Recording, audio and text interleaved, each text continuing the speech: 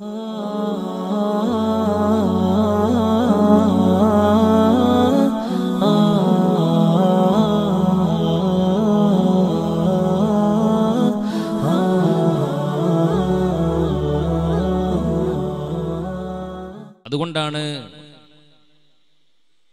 ദിഖുറുൽ അംബിയ ഇബാദ. ഇനെ സ്മരിക്കുന്നത് മഹാന്മാരായ പ്രവാചകന്മാരെ അനുസ്മരിക്കുന്നത് അവരെ ഓർക്കുന്നത് ഇബാദത്താണ് എന്ന് ദീൻ പഠിപ്പിച്ചത്. ഇബാദത്താണെന്നാണ് പറഞ്ഞത്. അംബിയായിനെ സ്മരിക്കുന്നത് അവർക്കുള്ള ഇബാദത്തല്ല അത് അള്ളാഹുവിനുള്ള ഇബാദത്താണ്. സംഗതി ഇബാദത്താണ്. പക്ഷേ അംബിയാവിനോടുള്ള ആദരവ് കൊണ്ട് അവരെ സ്മരിക്കുന്നത് അംബിയാവിനോടുള്ള മഹബത്ത് കൊണ്ട് അവരെ സ്മരിക്കുന്നത് അള്ളാഹുവിന് കാണിക്കുന്ന ഇബാദത്താണ്. കഫാറ. സച്ചരിതരായ ആളുകളെ സ്മരിക്കുന്നത് കഫാറത്തുൻ പ്രായച്ചിത്തമാണ് മനുഷ്യരായ നമ്മെ സംബന്ധിച്ചിടത്തോളം ഒരുപാട് സ്കലിതങ്ങൾ തെറ്റുകുറ്റങ്ങൾ വന്നു പോകുന്നവരാണ്. നമ്മൾ മഹസൂമുകളല്ല അള്ളാഹുവിന്റെ ഔലിയാക്കൾ മഹ്ഫൂലീങ്ങളാണ് നമ്മൾ പാപ സുരക്ഷിതരല്ല മഹ്ഫൂലീങ്ങളല്ല നമ്മുടെ ജീവിതത്തിൽ വന്നു പോകുന്ന സ്ഖലിതങ്ങളെ തെറ്റുകുറ്റങ്ങളെ പോരായ്മകളെ മായ്ച്ചു കളയാൻ മഹാന്മാരായ അംബിയായിനെ സ്മരിക്കുന്നതിലൂടെ സാധിക്കും മഹാന്മാരായ സ്വാലിഹ്യങ്ങളെ സ്മരിക്കുന്നതിലൂടെ സാധിക്കും. സ്വാലിഹ്യങ്ങളിൽ ഏറ്റവും പ്രധാനികളാണ് മഹാന്മാരായ ബദിരിങ്ങൾ എന്ന് പറയേണ്ടതില്ലല്ലോ. അവർ സ്വർഗാവകാശികളാണ്. ഓരോ മാസവും ഒരുമിച്ച് കൂടി മുന്നൂറ്റി പതിമൂന്ന് മഹാന്മാരായ ബദരീങ്ങളുടെ നാമം നാം ഉച്ചരിക്കുമ്പോൾ നമ്മൾ ചിന്തിക്കേണ്ടത് നമ്മുടെ നാവ് കൊണ്ട് നമ്മൾ ഉച്ചരിക്കുന്നത് സ്വർഗാവകാശികളായ മഹത്തുക്കളുടെ നാമങ്ങളാണ്. അതുകൊണ്ട് നമ്മുടെ നാവിന് പറക്കത്തുണ്ടാകും നമ്മുടെ കൽബ് അതുകൊണ്ട് ശുദ്ധമാകും. കൽബ് ശുദ്ധമാവാനുള്ള വഴികൾ മഹാന്മാരായ ഒലമാ വിശദീകരിച്ച കൂട്ടത്തിൽ പറഞ്ഞത് ومجالسات الصالحين الفضلاء മഹാന്മാരായ സ്വാലിഹ്യങ്ങൾ അള്ളാഹുവിന്റെ സച്ചരിതരായ അടിമകളോടുള്ള സഹവാസം അത് കൽബിനെ വൃത്തിയാക്കുമെന്ന് മഹാന്മാരായ ഉലമ പഠിപ്പിച്ചിരിക്കുകയാണ് ഒരു മനുഷ്യൻ നന്നാവുക എന്ന് പറയുന്നത് അവന്റെ ശരീരം സുന്ദരമാവലല്ല അവന്റെ സംസാരം ആകർഷകമാവലല്ല. അവന് വലിയ സാമ്പത്തികമായ പുരോഗതി ഉണ്ടാവലല്ല അവന് വളരെ സുന്ദരമായ വീടുണ്ടാവലല്ല. വലിയ വലിയ വിലപിടിപ്പുള്ള മോടിപിടിപ്പുള്ള വാഹനമുണ്ടാവലല്ല.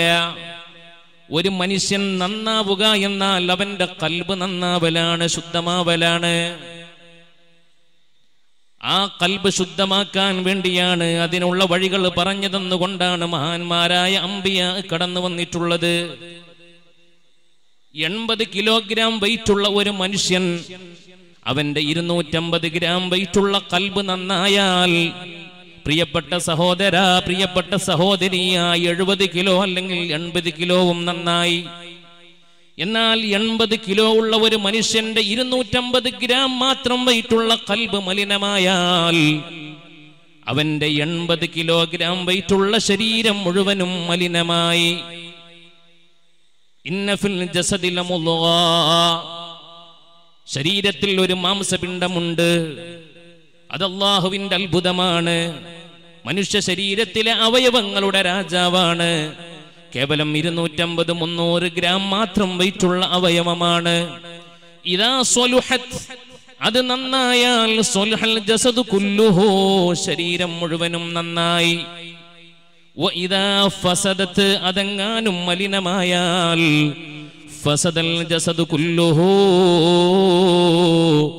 അവന്റെ ശരീരം മുഴുവനും മലീമസമായി. അല അറിയണേ ഉൾക്കൊള്ളണേ. വഹിയൽ കൽബ് അത് ഹൃദയമാണ്. ഒരു മനുഷ്യന് നല്ല സുന്ദരനാണ് ഒരു സഹോദരി നല്ല സുന്ദരിയാണ്. അതുകൊണ്ട് പ്രിയപ്പെട്ടവരെ രക്ഷപ്പെടാൻ സാധിക്കുമോ? അതുകൊണ്ട് രക്ഷപ്പെടാൻ സാധിക്കുമോ? കാരണം ശരീരമെന്ന് പറയുന്നത് മരണത്തോടുകൂടി തീർന്നു പോകുന്നതാണ്.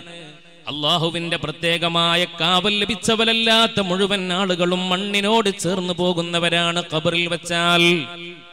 പത്തോ അറുപതോ എഴുപതോ വയ- വയസ്സ് ലോകത്ത് ജീവിച്ചിട്ട് റൂഹങ്ങ് പാറിപ്പോയാൽ പിന്നെ ശരീരം മണ്ണിനോട് ചേർന്ന് പോവുകയാണ്. അതുവരെ മനോഹരമാക്കിയ സുന്ദരമാക്കിയ തന്റെ ശരീരം അതാ പുഴുക്കൾക്കുള്ളതാണ് ചതലുകൾക്കുള്ളതാണ്. അപ്പൊ ഒരു മനുഷ്യൻ നന്നായെന്ന് പറഞ്ഞാൽ അവന്റെ ശരീരം നന്നാവലല്ല. അവന്റെ സംസാരം ആകർഷകമാകലല്ല. സാമ്പത്തികമായ പുരോഗതിയല്ല. മറിച്ച് കൽബ് നന്നാവലാണ്. അതിനല്ലേ അമ്പിയ കടന്നു വന്നത്? അതിനല്ലേ ഔലിയ ഇവിടെ കടന്നു വന്നത്? അതിനല്ലേ ലോകത്തുള്ള എല്ലാ ആത്മീയമായ സംവിധാനങ്ങളും കൽബ് ശുദ്ധമാക്കാനല്ലേ? ഒരുപാട് വഴികളുണ്ട്. ഒരുപാട് മാർഗങ്ങളുണ്ട്. അതിൽപ്പെട്ട ഒരു മാർഗമാണ്.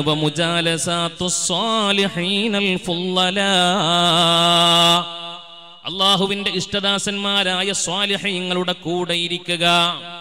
എല്ലാ അസുഖവും അതോടെ ഭേദമാവുകയാണ്. കൽബിനെ ബാധിച്ച എല്ലാ രോഗങ്ങളും അലിഞ്ഞില്ലാതാവുകയാണ്.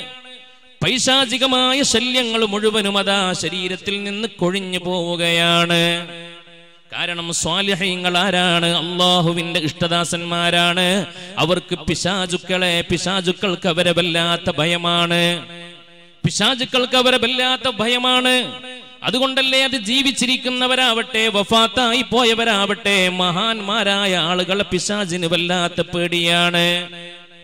മഹാന്മാരായ അസും ബദരീങ്ങളുടെ ഇസ്മു പറയുന്ന മജിലിസിൽ പൈശാചികതയുണ്ടാവില്ല. നമ്മുടെ ശരീരത്തിൽ പൈശാചികമായ സാന്നിധ്യം പൈശാചികമായ ടച്ചിങ് വ്യാപകമായാൽ വർദ്ധിച്ചു കഴിഞ്ഞാൽ ഒരു മനുഷ്യന്റെ ശരീരത്തിന്റെ ബറക്കത്ത് നഷ്ടപ്പെടുകയാണ്. വിവാദത്തിൽ അവൻ പിന്നോട്ടാവുകയാണ്. അവന്റെ ശരീരം മുഴുവനും അതാ അവന്റെ ശരീരവും അവന്റെ മനസ്സും മുഴുവനും അതാ വലിയ വലിയ മാറ്റങ്ങൾക്ക് വിധേയമാവുകയാണ്. അത്തരം പൈശാചികമായ സാന്നിധ്യങ്ങളെ ഒഴിവാക്കാനുള്ള ഏറ്റവും പ്രധാനപ്പെട്ട വഴി മഹാന്മാരായ സ്വാലിഹ്യങ്ങളോടുള്ള സഹവാസമാണ്.